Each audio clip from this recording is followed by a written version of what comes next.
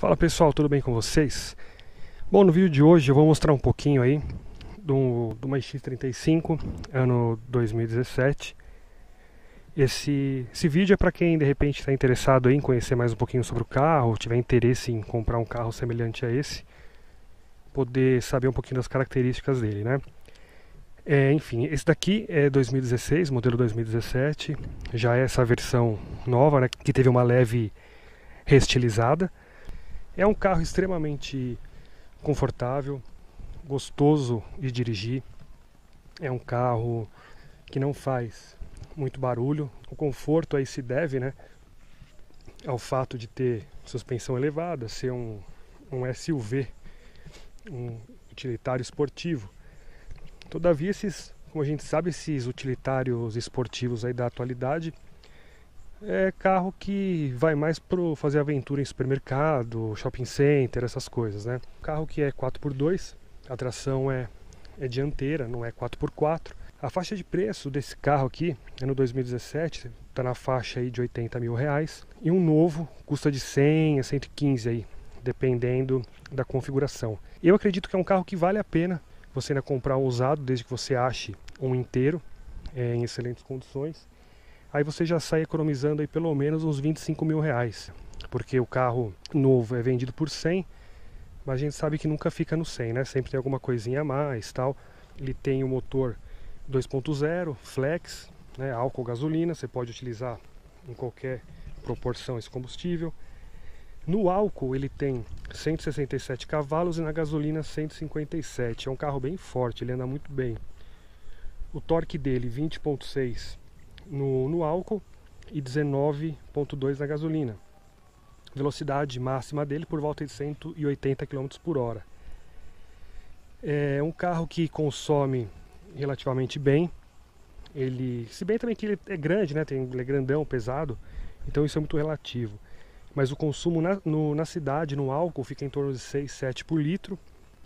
E da gasolina, eu não sei informar para vocês porque esse carro utiliza só álcool mas é, geralmente dizem aí que faz por volta de 10 da gasolina. Então o álcool acaba sendo é, compensador. O câmbio dele é uma transmissão automática de seis marchas, tem os espelhos rebatíveis, chave com controle aqui, você só aperta aqui ó, e já abre e já rebate os espelhos. E tá um pouco sujo por dentro, né? Não reparem, é, combustível, abre por aqui, capô aqui, freio de estacionamento dele é aqui, ó. Então se você for entrar no carro pela primeira vez, não vai, não vai se assustar né, em olhar aqui a alavanca e não, não encontrar a alavanca aqui. Porque a alavanca fica aqui, beleza? Vamos lá, deixa eu entrar aqui no, no carro mostrar mais detalhes para vocês aqui de dentro. Bom, para ligar ele também tem o sistema start-stop, né? Start-stop não, só é, aqui diz start-stop. Você pisa no, no, freio, aperta o botão, ele liga. Vou ligar o condicionado, está muito quente aqui dentro.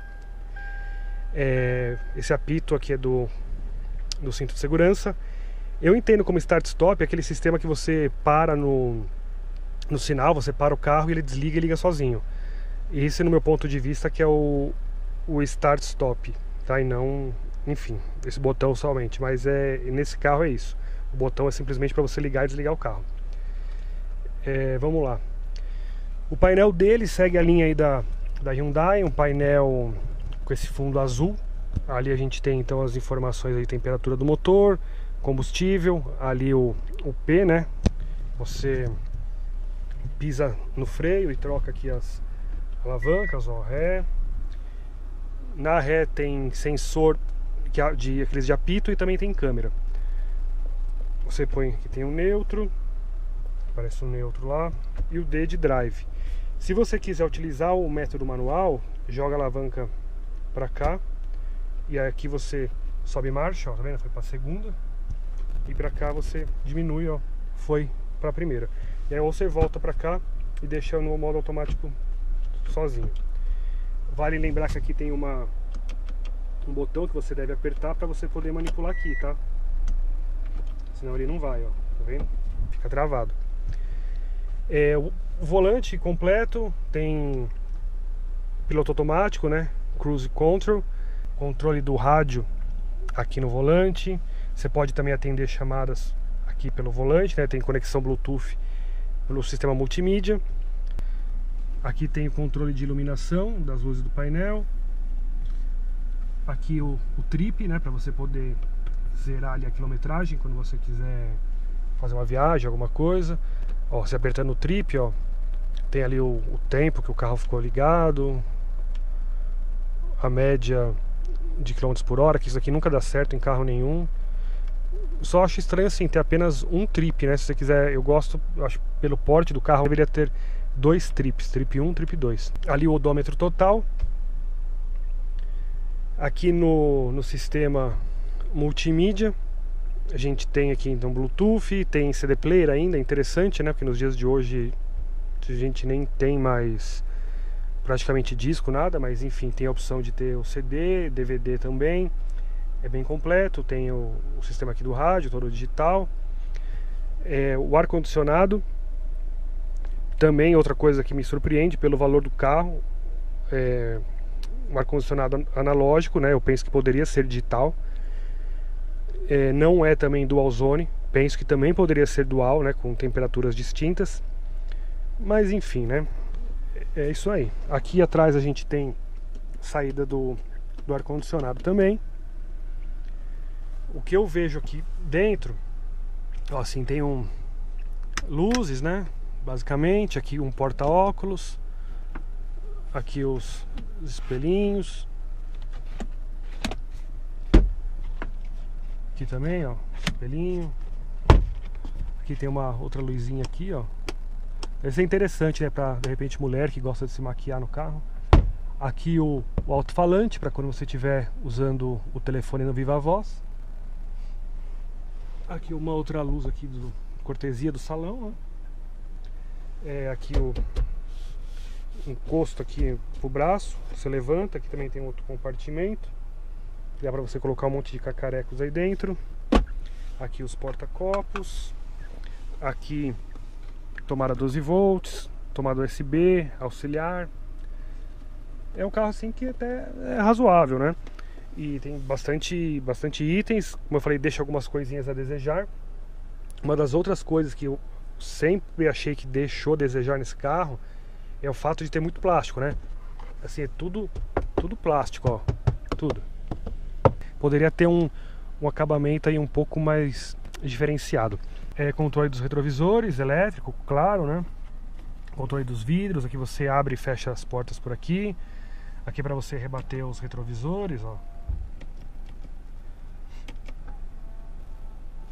Aqui para você impedir que as outras portas abram, é, o vidro abra, né? Você trava, aí só você comanda.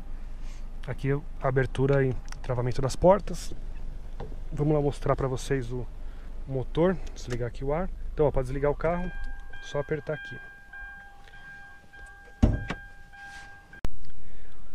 Ó, então aqui está o cofre do motor.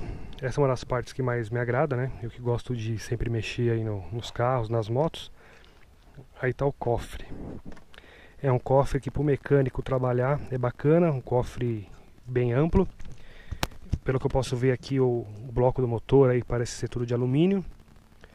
É, e é isso, aqui o reservatório de partida frio.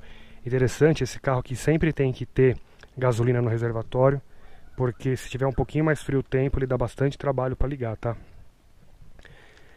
É, aqui tem essa, esse plasticão preto aqui, né? Protegendo, até que fica bonito. Protege aqui o radiador tal. É um, um cofre que dá para o mecânico se divertir bastante. Vamos dar agora uma olhada lá no no porta-malas. O porta-malas também é bem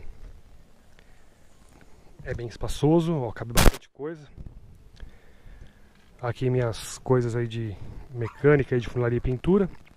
É, para quem não assistiu, eu fiz um pequeno reparo aqui nesse carro, aqui nessa lateralzinha. Vou deixar o link aí para quem não assistiu depois assistir aí. E é isso aí, ó, bem, realmente bem, bem espaçoso. Aqui para você fechar o carro, ó, tem aqui essa tampa, tem um cuidado aqui ó para você colocar sua mão, então evita de você ficar pegando aqui na, na lata, né?